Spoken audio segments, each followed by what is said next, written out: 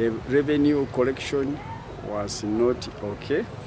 So this one was also affected, the revenue, uh, the cleanness of the town. And again, the cleaners also uh, complain about non-payment by those who are responsible. So this is the biggest problem we have in Mbale, non-payment to the cleaners. In the whole city, Mbale Municipal Council and the city at large, we having only one truck, one garbage truck. The rest uh, have damaged beyond repair.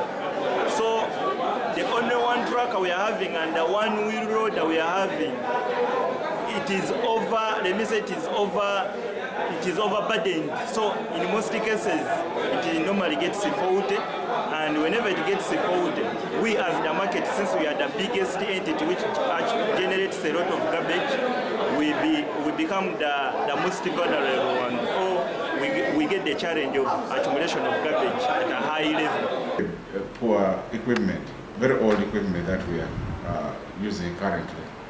Because we have uh, a few lorries and skip loaders which are broken down and uh, however much we try to repair, they break down after a very short time because of, of age.